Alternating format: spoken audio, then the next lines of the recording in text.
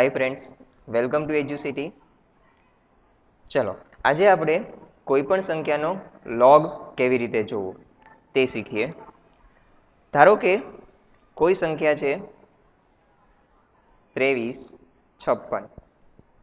આ સંખ્યાનો મારે લોગ જોવો છે, એટલે કે લોગ ઓફ ત્રેવીસ, છપ્પન. તો સૌપ્રથમ તમારે જે પણ સંખ્યા આપેલી છે, તેને પ્રમાણિત સ્વરૂપમાં ફેરવવાની. મિત્રો, પ્રમાણિત સ્વરૂપ એટલે શું? તો કે પ્રથમ જે અંક છે, સૌથી પ્રથમ અંક. તેના પછી પોઈન્ટ હોવો જોઈએ હંમેશા. આપેલ સંખ્યા જે છે, ત્રેવીસ છપ્પન, તેમાં પોઈન્ટ હંમેશા આ સ્થાન પર રહેલો હશે. તો આ પોઈન્ટને આપણે કેટલા સ્થાન ખસેડશું? ત્રણ સ્થાન. એક, બે અને ત્રણ સ્થાન ખસેડીએ છીએ.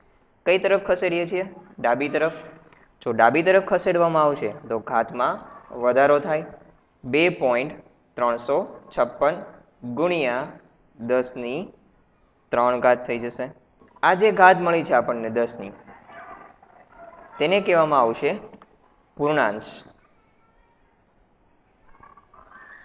આ જે ઘાત મળશે આપણને, તેને મૂકી દેવાની જે પણ ઘાત હોય, ત્રણ છે તો ત્રણ પછી પોઈન્ટ મૂકી દેવાની. જે મૂળ સંખ્યા હતી, ત્યાં જતા રહીએ લગે ત્રેવીસ છપ્પન. તેના સૌ પ્રથમ પહેલા બે અંકો. તો એ કયો નંબર બનાવે છે? ત્રેવીસ.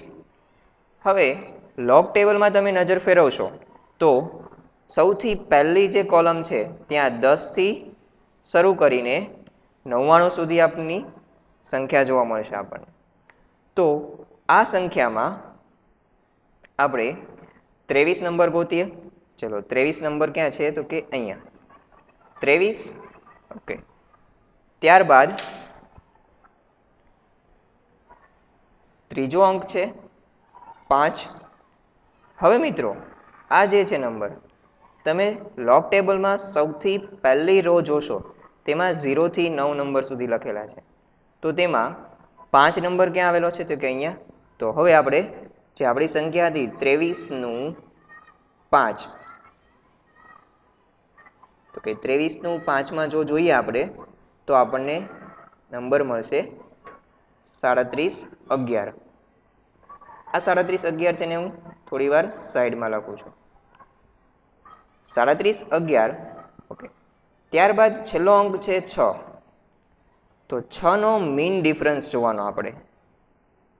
સૌથી છેલ્લે લોગ ટેબલમાં જોઈએ તો મીન લખો. કોલમ આપેલી છે. તો એમાં છ નંબર ગોતવાનો છે આપણે. તો છ અહીંયા છે. તો ત્રેવીસનું પાંચ અને છમાં મીન ડિફરન્સ. તો મીન ડિફરન્સ આપણને જોવા મળશે અગિયાર. તો જે પણ મીન ડિફરન્સ મળે છે એને જૂની જે સંખ્યા હતી એમાં ઉમેરી દો. તો આપણને નંબર મળશે સાડત્રીસ બાવીસ. છેલ્લો જે અંક આપણને આ મળે છે સાડત્રીસ, બાવીસ, તેને ત્રણ પોઈન્ટ પછી મૂકી દેવાના છે. એટલે કે સાડત્રીસ, બાવીસ. તો આ થઈ ગયો ત્રેવીસ છપ્પનનો લોગ. ધારો કે કોઈક સંખ્યા છે ઝીરો પોઈન્ટ ઝીરો ઝીરો એકસો પંચાવન. મિત્રો, સૌ પ્રથમ સ્ટેપ આપણું રહેશે સંખ્યા જે હશે તેને પ્રમાણિત સ્વરૂપમાં ફેરવવાની. તમે જોશો તો પોઈન્ટ અહીંયા રહેલો છે અત્યારે. તેને આપણે સંખ્યાનો સૌ પ્રથમ જે સાર્થક અંક છે એક, તેના પછી લઈ જવાનો છે. તો કેટલા સ્થાન ખસેડવો પડશે? એક, બે અને ત્રણ. કઈ તરફ ખસેડવો પડે છે? જમણી તરફ. તો જમણી તરફ જો ખસેડવામાં આવશે તો ઘાતમાં ઘટાડો થાય છે. એટલે કે જોને પ્રમાણિત સ્વરૂપમાં ફેરવીએ, તો એક પોઈન્ટ પંચાવન ગુણ્યા દસની માઇનસ ત્રણ થશે. તો આ થઈ ગયું પ્રમાણિત સ્વરૂપ. પ્રમાણિત સ્વરૂપમાં જે ઘાત રહેલી હોય છે, ચલો ઘાત જે છે એ કેવી છે? માઇનસ છે. તો તેને આપણે ત્રણ બાર વડે દર્શાવશું. એટલે કે ત્રણ અંક જે છે એ ઋણ છે નેગેટિવ છે. ચલો, ત્રણ બાર પછી આપણે પોઈન્ટ દર્શાવી દઈશું. હવે મિત્રો, તમે જોશો, તો આપણી જે સંખ્યા હતી, એમાં એકસો પંચાવન છે. એમાં સૌ પ્રથમ અંકો છે પંદર, બે અંકો. તો પંદર સૌ પ્રથમ પહેલી કોલમ છે તેમાં જોઈએ, પંદર છે અહીંયા. તો પંદરનું પાંચમાં અને પછી કોઈ સંખ્યા રહેલી નથી. તો પંદરનું પાંચમાં લોગ જોઈએ. પંદરનું પાંચમાં. પાંચ છે અહીંયા. તો તે મળશે આપણને ઓગણીસ જીરો ત્રણ. ઓગણીસ જીરો ત્રણ લખી દઉં. હવે કોઈ પાછળ સંખ્યા રહેલી નથી, એટલે મીન ડિફરન્સ તો મળશે નહીં આપણને. તો ફાઇનલી જે આપણને આંકડો મળે છે, શું મળે છે? ઓગણીસ જીરો ત્રણ. તો તેને પોઈન્ટ પછીના સ્થાન પર લખી દઈશું. ઓગણીસ જીરો ત્રણ. તો આપેલ સંખ્યા જે છે, ઝીરો પોઈન્ટ ઝીરો ઝીરો એકસો પંચાવનનો લોગ થશે થ્રી બાર પોઈન્ટ ઓગણીસ જીરો ત્રણ.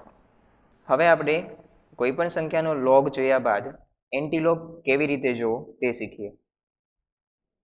ધારો કે કોઈ સંખ્યા છે પાંચ પોઈન્ટ અઠ્યોતેર બાર. આ સંખ્યાનો આપણે એન્ટીલોગ જોવો છે. મિત્રો એન્ટીલોગ જોવા માટે હંમેશા એક યાદ રાખો કે એન્ટીલોગ હંમેશા પોઈન્ટ પછીની સંખ્યાનો જોવો. એટલે કે દશાંશ ચિહ્ન જે છે, તેના બાદની જે પણ સંખ્યા છે, એનો જ હંમેશા એન્ટીલોગ જોવાનો એટલે કે અઠ્યોતેર, બારનો જ જોશું આપણે. તો પ્રથમ જે અંક છે પાંચ, તેનું શું કરશું? તો antilog of five point seven eight one two equal to તો પ્રથમ જે અંક છે પોઈન્ટ પહેલાંનો, એને દસની ખાતમાં મૂકી દેવાનો, એટલે કે ટેન રેસ ટુ ફાઈવ તો હવે આપણે જે અઠ્યોતેર બાર સંખ્યા રહી છે, તેનો એન્ટીલોગ જોઈએ, તો એમાં સૌ પ્રથમ પ્રથમ બે અંકો છે, સાત અને આઠ. કઈ સંખ્યા બનાવે છે? અઠ્યોતેર. તો એન્ટીલોગમાં પણ તમે જોશો હંમેશા, તો પ્રથમ જે કોલમ છે, તેમાં પોઈન્ટમાં દર્શાવેલી છે બધી જ રકમ. Point zero zero point zero એક પોઈન્ટ ઝીરો ત્રણ પોઈન્ટ ઝીરો ચાર, એવી રીતે છેક પોઈન્ટ નવ્વાણું સુધી હશે. તો આપણે પોઈન્ટ અઠ્યોતેર ગોતીએ, તો પોઈન્ટ અઠ્યોતેર, અહીંયા દેખાય છે આપણને પોઈન્ટ અઠ્યોતેર. ત્યારબાદ આવે છે એક, તો પોઈન્ટ અઠ્યોતેરનું એક. પોઈન્ટ અઠ્યોતેરનું એકમાં, એટલે કે સાઠ ઓગણચાલીસ. ત્યારબાદ ચોથો અંક છે બે, તો તેનો મેઇન ડિફરન્સ જોઈએ આપણે.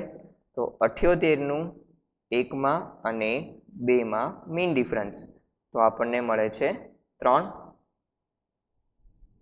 તો ત્રણ એડ કરી દઈશું આમાં.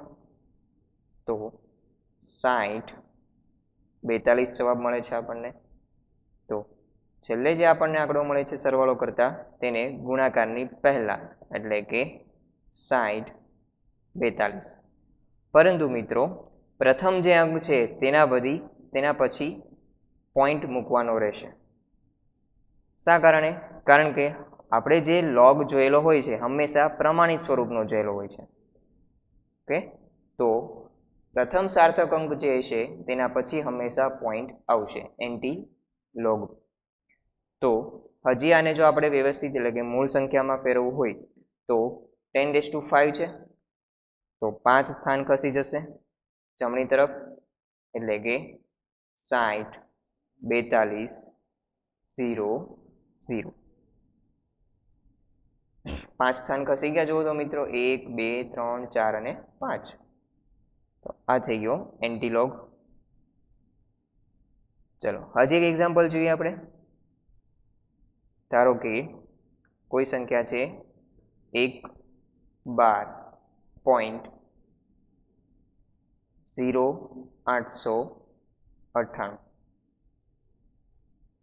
આ સંખ્યાનો આપણે એન્ટીલોગ જોઈએ. તો એન્ટીલોગ ઓફ વન બાર ઝીરો આઠસો અઠ્ઠાણું તો પહેલું સ્ટેપ પોઈન્ટ પહેલાંનો જે અંક હશે, તેને દસની ખાતમાં ચડાવી દઈશું. પ્રથમ અંક જે છે વન બાર વન બાર એટલે કે એક જે છે, એ નેગેટિવ છે. એટલે કે માઇનસ એક પોઈન્ટ પછીના પ્રથમ બે અંકો, ઝીરો આઠ. તો એન્ટીલોગમાં ઝીરો આઠ પ્રથમ કોલમમાં જોઈએ આપણે, તો ઝીરો આઠ. ત્યારબાદ નવ, ઝીરો આઠનું નવમાં.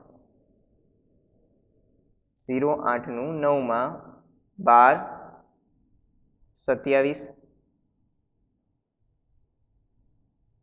અને મીન ડિફરન્સ આઠ. તો આઠમાં મીન ડિફરન્સ બે. તો બે ઉમેરી દઈએ. તો બાર, ઓગણત્રીસ. તો આ જે આંકડો મળે છે ને ગુણાકારની પહેલાં મૂકી દઈશું. અને પ્રથમ અંક છે તેના પછી પોઈન્ટ આવશે. તો હજી આને વ્યવસ્થિત ફેરવી દઈએ. તો દસની માઇનસ એક ઘાત છે અહીંયા. જો દસની માઇનસ એક ઘાત હોય પોઈન્ટને ખસ દૂર કરી દઈએ, અહીંથી દસની માઇનસ એક ઘાત મારે જવા દેવી હોય, તો પોઈન્ટ એક સ્થાન આ તરફ ખસી જશે, એટલે કે ઝીરો પોઈન્ટ બારસો ઓગણત્રીસ. તો આ થઈ ગયો મૂળ સંખ્યાનો એન્ટીલોગ થેન્ક યુ